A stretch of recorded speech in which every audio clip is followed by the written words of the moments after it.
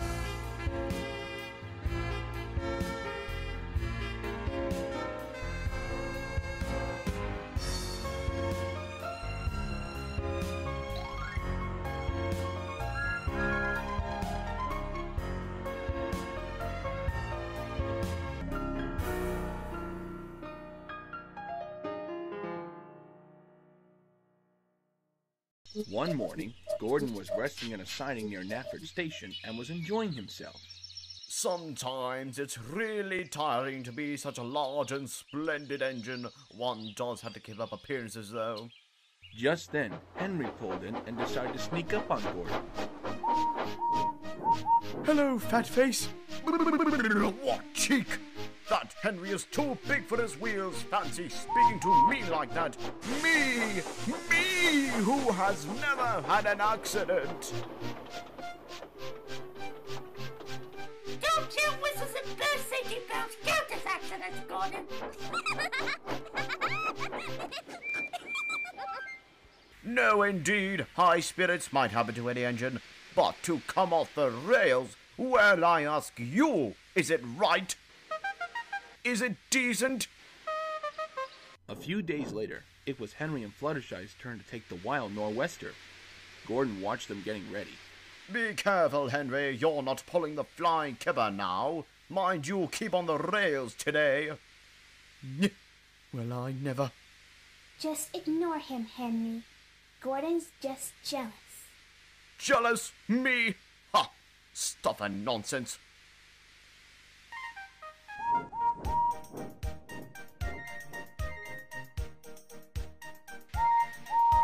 Henry went off in a huff, while Gordon yawned and went to sleep.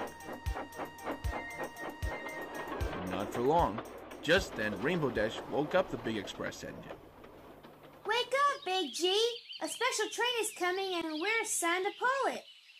Rainbow, give me the honest answer. Is it coaches or trucks?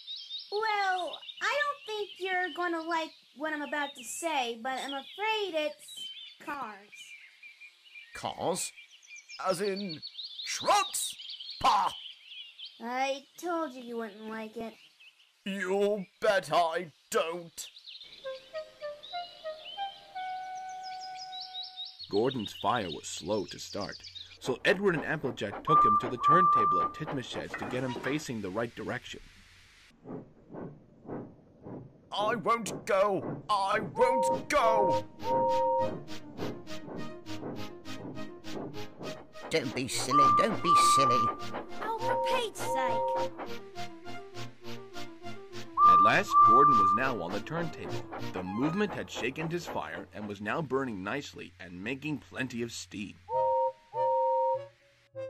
Gordon was so cross that he didn't care what he did.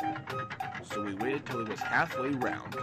I'll show them, I'll show them. He then moved slowly forward to jam the table, but he couldn't stop himself as he slid into a muddy ditch. Oh, get me out! Get me out! Don't bring your hopes up, Big G. You're stuck there, you stupid engine. Do you understand that? Then she telephoned Sir Topham Hatt for help.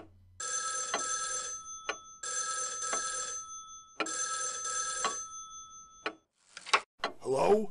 Northwestern Railway Main Office, Sir Topham Hatt, Railway Controller speaking. Ah, Rainbow Dash, what's up with you? Wait, let me get this straight.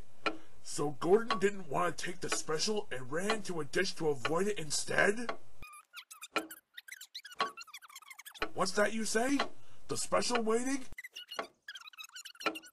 Tell Edward and Applejack to take it, please. And what about Gordon? Oh, leave where he is for now. We'll get him out later tonight. Now don't get fussy with me, Rainbow Dash. I don't have time for arguments. We have a railway to run. Now go find some other work that needs to be done until then. Good day! Meanwhile, on the other side of the ditch, Discord was having a great time teasing Gordon. Oh, doesn't he look silly in there? It's a perfect Kodak moment. Oh, this is too irresistible. Then he began to sing a little tune. Silly old Gordon fell in a ditch, fell in a ditch, fell in a ditch. Silly old Gordon fell in a ditch all on a Monday morning. Shut up, Discord. You shouldn't make fun of Big G like that. Go bother some pony else. Uh, fine. Have it your way then. I'm sorry, buddy, but I'm afraid you'll have to stay here until the night. What? You're going to leave me here? All alone? Two things. One, since you're stuck in the mud, you're not going anywhere for a while. And two, I've been waiting weeks for the new Daring Do book to come out, and it's today! It's finally here! anyway, I'll see you later! Oh dear, I shall never get out. Abandoned in my time of need by the only pony friend I've ever known, just so she can read a blasted new book, leaving me to rust away in the muddy, frog-infested, odorous swamp waters of this ditch, alone, neglected, and forgotten. Such a fate befitting a stuck-up, boastful, stubborn, arrogant engine such as I. Oh, if only I had swallowed my pride and pulled the goods train.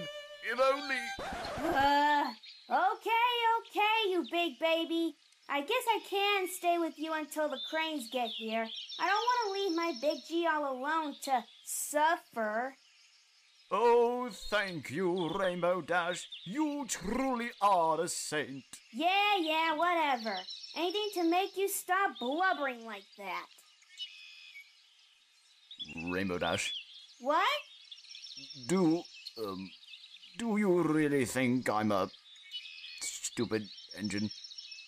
Uh, no. Bullheaded, yes. But stupid? No. I'm sorry. I'm sorry too. In a way, I really sort of deserve this. I mean, the look on your face was priceless. Rainbow Dash and Gordon shared a chuckle as they continued to wait for help.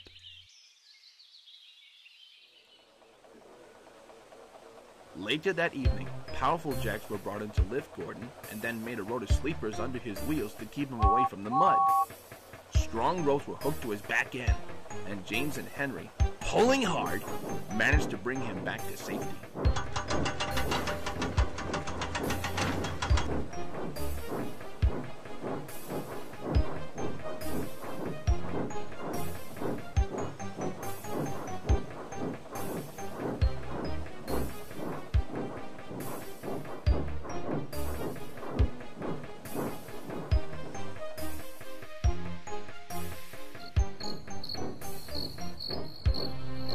Later that night, Gordon crawled into a shed, a sadder but wiser engine.